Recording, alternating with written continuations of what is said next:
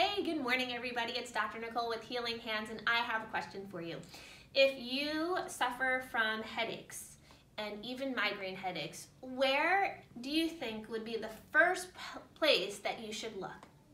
Well, let me give you a hint.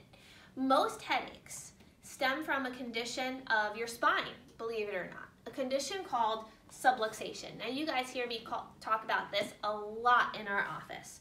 So what is a subluxation and how do they cause headaches? Well, if you have headaches, that's a sign from your body. It's really a sign from your brain to let you consciously know that something is wrong, that something's not right.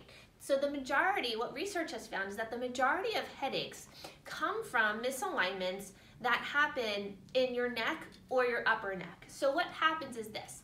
Through different stresses and different traumas that you have through the course of your lifetime, they can be impacts like a car accident or something, or fall off your bicycle or fall off a motorcycle, or they can be even stresses that happen to your body gradually over time, like playing video games, especially. Um, where we, we get this head forward posture. When we get those types of postures and when we have those types of stresses to our body, it causes the spinal bones to shift or twist out of alignment. And so that shift or twist out of alignment, as you know, it's called a subluxation. And when you have a subluxation, it causes stress and pressure and tension to the spinal cord and the very delicate nerves that exit the spine. So research shows the majority of the headaches that you're experiencing could be coming from a problem in the upper neck. So where's the first place that we should look? Well, guess where, guys?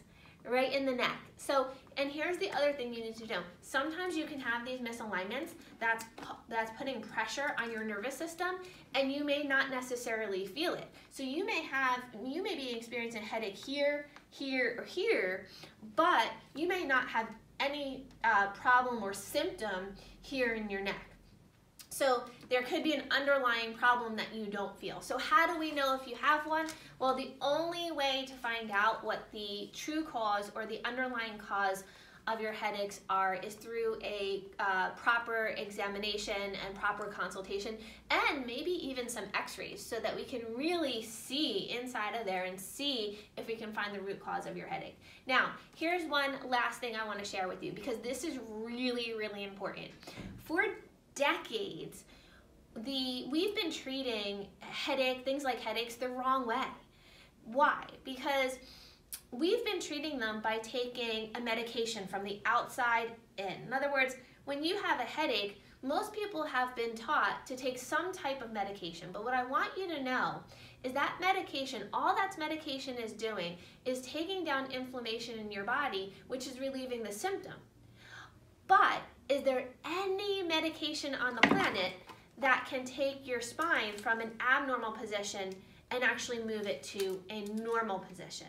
See, there's a very big difference between taking a medication to handle your symptoms and actually correcting the possible cause of the symptoms. So if you guys have any questions about that at all, please, we're more than happy to answer any of your questions. You know where to find us. It's Dr. Nicole and Dr. Leandra and the whole Healing Hands team right here at Healing Hands in Manahawkin.